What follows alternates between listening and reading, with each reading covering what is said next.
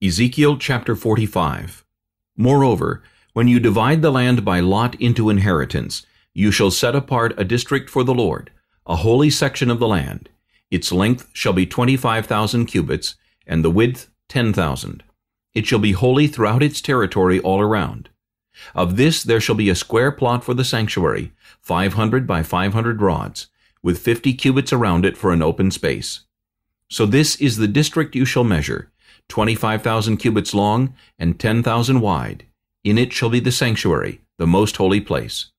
It shall be a holy section of the land, belonging to the priests, the ministers of the sanctuary, who come near to minister to the Lord.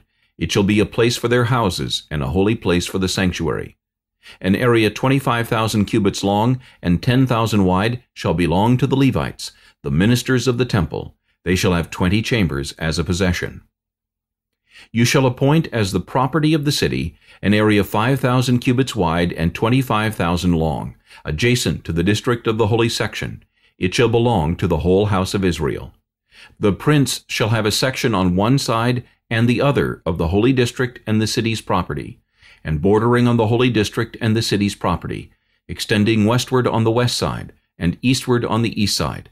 The length shall be side by side with one of the tribal portions, from the west border to the east border.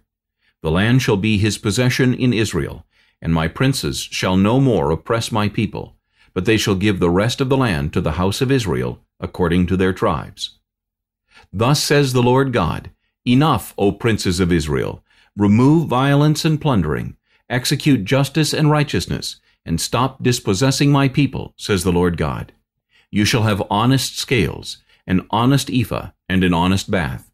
The ephah and the bath shall be of the same measure, so that the bath contains one-tenth of a homer, and the ephah one-tenth of a homer. Their measure shall be according to the homer.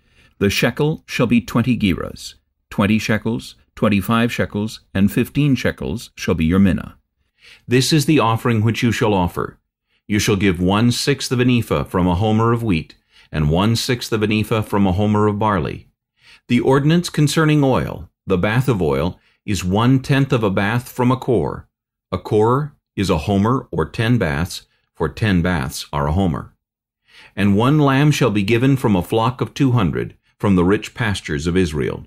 These shall be for grain offerings, burnt offerings, and peace offerings, to make atonement for them, says the Lord God.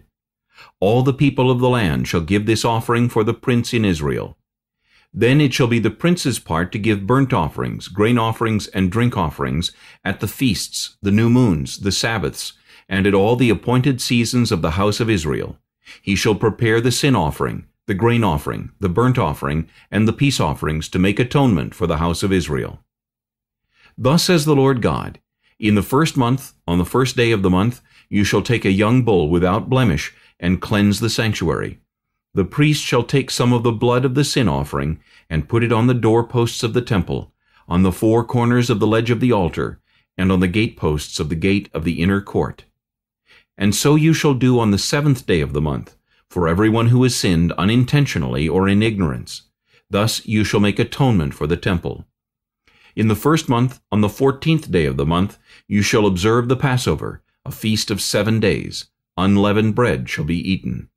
And on that day the prince shall prepare for himself and for all the people of the land a bull for a sin offering.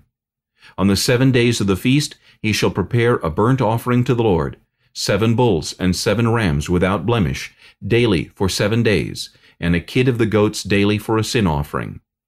And he shall prepare a grain offering of one ephah for each bull, and one ephah for each ram, together with a hin of oil for each ephah. In the seventh month, on the fifteenth day of the month, at the feast, he shall do likewise for seven days, according to the sin offering, the burnt offering, the grain offering, and the oil.